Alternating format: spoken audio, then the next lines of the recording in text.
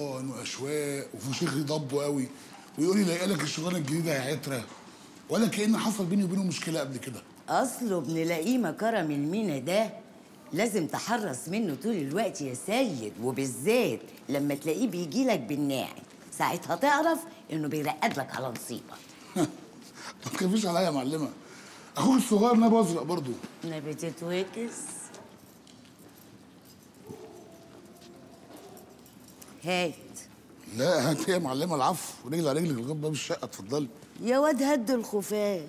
أنا جايباك معايا عشان تحكي لي مش عشان تشيلهم لي. وشرف أمي ابدا ولا تيجي ست الكل. يلا يا معلمة اتفضلي. خلاص بشوقك. تعال.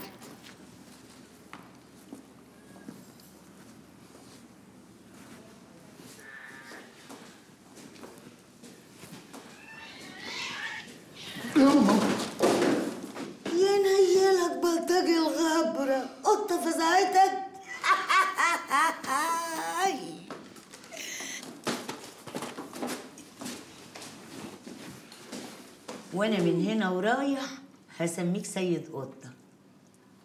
ما خلاص بقى يا معلمة. أنا اتخضيت من القطه على فكرة ما كنتش خايف منها عادي يعني. وهي كانت هتعمل لك إيه القطة يا سيد؟ وأنت زي الدولاب كده. ماشي. اتريقوا. ما دام التريقه هتضحكوا وتبسطكوا قوي كده. اضحكوا. بيقولك النهارده كرم المينا كان بيعامله زي ما يكون شقيق ما بلاش السيرة دي بقى على الأكل خلينا نعرف نسمي.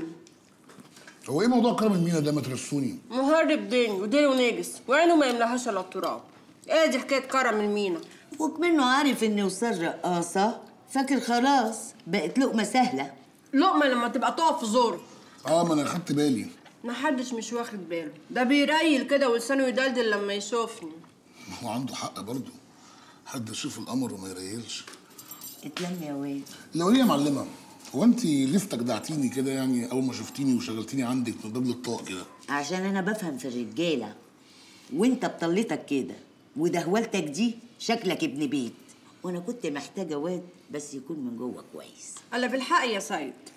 هو ديك النهار العيال خواجات البحارة دول لما جيهم سهروا عندنا في المحل وقفت يا أخويا كده ترطب معاهم. هو أنت فاهم لغواتهم؟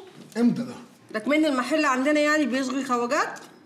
هم جزء الخواجات اللي دخلوا المحل من يوم ما انت اشتغلت عندنا. آه الجماعة الفرنساويين انت بتفهم في الفرنساوي؟ بفهم في الفرنساوي.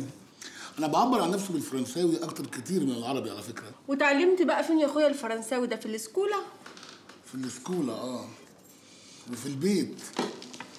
أنا ابن اصول يا وصال ما يغركوش إني اشتغلت عندكم أو البنسيون المعفن اللي أنا عايش فيه ده. أنا عايز اقعد على راس ابعديه عينيكم ما تجيبش آخرها هقعد. أنا بس اللي عايز أشتغل بإيدي وأعتمد على نفسي وأبني نفسي بنفسي.